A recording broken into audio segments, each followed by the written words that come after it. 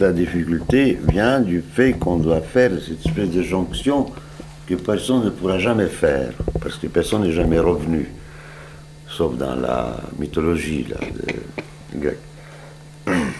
Il faut qu'il y ait un parfum de, de ce qui était, de ce qui ne serait plus. Il faut que le, le côté éphémère de la peinture en dise long. Non, mais pourquoi tu dis? Parce que toi, tu fais tout sauf une peinture fine et délicate. Quelque part, tu fais une peinture forte, expressionniste. euh, Il y en a d'autres qui sont beaucoup plus barbares et plus violents, ou peut-être euh, où la muscula- musculature est intervenue davantage. Non, moi je fais ça. Ça pourrait être comparé à- au jardinage un peu. À des petits pois en fleurs, euh, après des petits pois qui s'écroulent, qui. Dans ce cas précis, a ce, côté évolutif de, la botanique, de- du monde végétal pour, éviter de parler des animaux et de nous.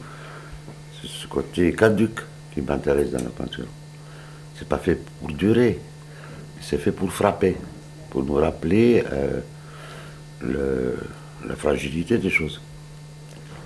Mais par une force euh, qu'on doit atteindre le plus grande qu'elle soit. C'est pas pour. euh, c'est pas une peinture de circonstance. Oui, mais c'est une peinture. Toi, tu fais C'est pas une pein- peinture épistolaire non plus, c'est pas une- c'est- la peinture tout court qui serait très proche de, de ce que je disais, de, euh, du monde vivant, tout, tout bêtement, de, mais du monde vivant de, de, A, de A à Z, c'est-à-dire le côté graminé des graines, des, des cellules. et Donc, toi, tu, pour toi, ça serait une sécrétion, quelque part. Mais bien sûr, oui, évidemment. C'est sûrement pas une minéralisation. Non, mais C'est pas le minéral, c'est le vivant qui m'intéresse. Bon. De quoi je me mêle, mais enfin, c'est. Ça serait une forme de, d'expression de, de- qui me revient de droit, de parler du vivant. Parce que ça m'intéresse toujours de, de voir les choses vivantes. voilà. Donc, pour toi, peindre, c'est une façon de garder les choses vivantes. essayer de le comprendre. Et c'est euh, ce rythme de, extrêmement complexe et lent et, pas dire laborieux, et, finalement très dur. Comprendre les vivants, c'est quelque chose d'assez terrifiant. Donc, toi, tu te penses comme un ethnologue, un- Ah, je pense, oui, que je suis un peu le. J'appelle ça la peinturologie. Comme archéologie, comme. euh, euh, euh, tout, ce qui, tout ce qui concerne le, logos.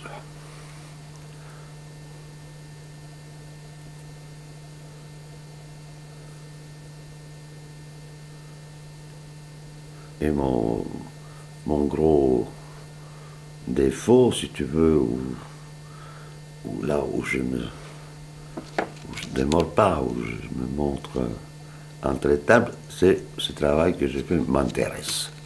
Ne me passionne pas, euh, ne me bouleverse pas,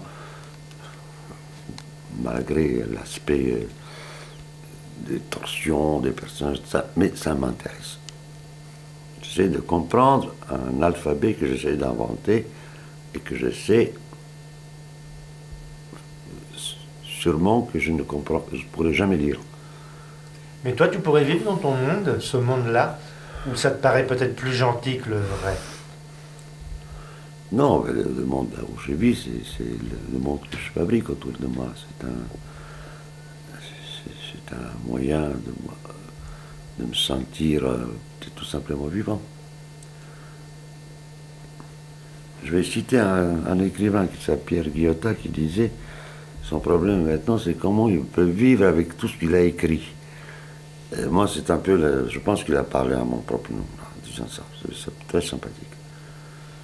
C'est vrai que lui, avec euh, Comment ça s'appelait? C'était truc pour un. Bravo pour 500 000 soldats. C'est ça. Non, non, parce qu'il disait dans un entretien, je ne sais pas comment, hein. maintenant vivre avec ce qu'il a écrit. Ben, c'est son, mais mon œuvre ne serait pas une œuvre, ce ne sera, ce serait pas des œuvres, ce serait des méfaits. C'est c'est une version paponesque. Oui, c'est- j'aurais dû jamais faire ces tableaux-là, en fait. S'ils étaient prémonitoires, ben, j'avais tort de parler des choses qui allaient se passer. Mais je ne pense pas avoir la vocation de prophète. En tout cas, il y a une similitude euh, que je trouve souvent dans la littérature, euh, que les gens ont, ont joué un- le rôle de visionnaire. C'est-à-dire que tu veux dire que toi, tu avais déjà prévu la guerre du, de Serbie, de tout ça, de, un peu à l'avance. Non, ce qui m'a ce qui m'a agacé dans cette histoire-là, c'est que je suis enceinte de trois guerres. De la première guerre par le récit de, de mes aînés. La deuxième guerre, c'est là où j'ai vu les premiers morts. Le premier mort que, j'ai vu de ma vie, il s'appelait Milosevic. Ça, C'est pas idiot, mais c'est comme ça. C'était un avocat de Tchétchenie qui était égorgé par les, par les mecs, un règlement de compte. euh, qui Mais c'est lui que tu avais peint. Tu avais peint sa main, son. Non, non, ça c'est une histoire d'homosexualité, c'est plus tard ça. Mais ça, celui-ci, c'était un règlement de compte politique. En 44, je crois, 43. Au, au lendemain de la bataille de Stalingrad. Il y a eu une scission chez les gens, je crois, euh, qui n'étaient pas du côté des- de, Tito. Et ils se sont bouffés entre eux, quoi. Il y avait ensuite le fameux pendu, il y avait, aussi une exécution sommaire par les Italiens en 42, à 100 mètres de la maison. J'ai dû entendre la détonation, mais mes parents étaient vraiment des gens très très sympas parce qu'ils m'en ont pas parlé qu'on avait flingué à plein jour deux jeunes types. Et aussi j'ai vu l'image qui me hante, en dehors de pendu, c'était un mec euh, ligoté, un type ligoté, poussiéreux, visiblement il avait très mauvaise mine, avec une, euh, avec une bonne douzaine de soldats italiens qui l'escortaient, passaient devant la maison. On regardait donc la scène et ma mère disait quelle honte d'être 10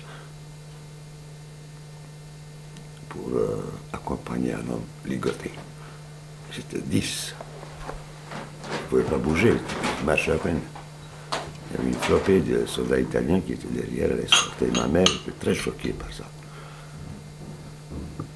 Comprenais pas pourquoi ils étaient une vingtaine, disons, à suivre un pauvre type. Il était fusillé une heure après. Voilà, c'est ça.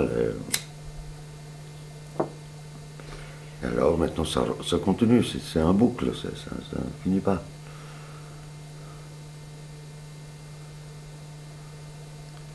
Et disons que c'est quand est-ce que tu as décidé d'être peintre professionnel ou de faire que de la peinture? Écoute, c'était à, à 38-39, oncle Mirko, qui était élève de, de Lotte, d'André Lotte à Paris, il est venu à Paris, il a dressé ses chevalets devant le monastère de Tchétigny, qui malheureusement n'est pas euh, une merveille d'architecture, parce que c'est récent. Il peignait le monastère, et j'étais filmé pour les actualités. Mon oncle m'a donné un pinceau, je ne savais pas tenir un pinceau, et j'étais filmé à l'âge de 7 ans à faire du faux. J'ai mimé le peintre dans mon chevalet. Il y avait euh, des actualités qui étaient avec un caméra, donc euh, c'était avant la guerre. Et maintenant, l'exposition qui est à Tétigny au musée, j'expose avec mes trois aînés, des, peintres de Monténégro. Il y avait un ami de mon père qui aurait dû être, qui aurait dû être acteur, parce que c'était drôle. Milunovic. Milunovic, il y a une photo, je crois, de Milunovic dans les années 30, assis au dôme avec Giacometti. C'était un de mes profs aux Beaux-Arts Il y a un deuxième qui était euh, au bar, qui, faisait des paysages de, Monténégro, des, des, falaises, pas mal. Et le troisième, le moins connu, est celui que j'ai vu sur son lit de mort. C'était l'oncle de mon cousin Germain, et puis c'était un jour de novembre, c'était comme si c'était hier. Il y avait des volets, des tourneaux, il pleuvait, et dans une pièce sombre, j'ai vu ce Michel Kotich avec un grand nez, euh, tu sais, de profil comme ça, dans une pièce sombre, le monsieur était en train de mourir. Et j'expose avec lui les, les lettres à Requichot, ce truc-là. la semaine prochaine, normalement, je vais aller là-bas pour l'accrochage. Si, si j'ai bien dormi, si je me sens bien.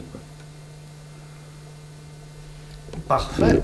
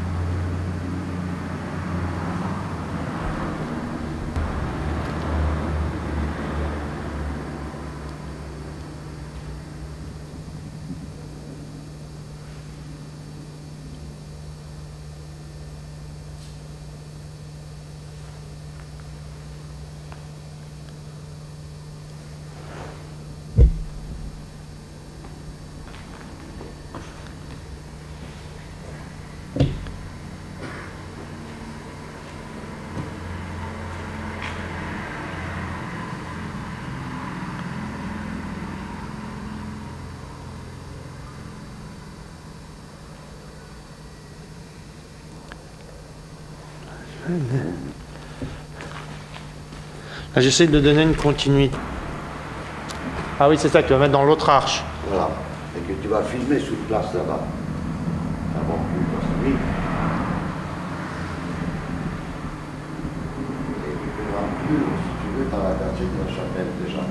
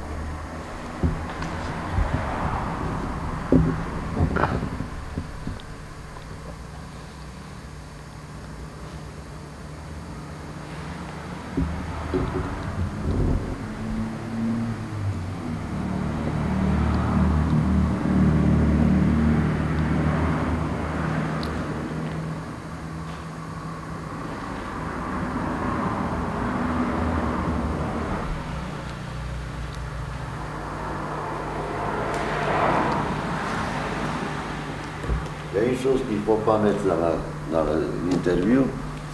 La première fois que les gens sont venus ici, après j'ai fait les orpelières que tu connais, et j'ai dit bombarder, bombarder. Ça qui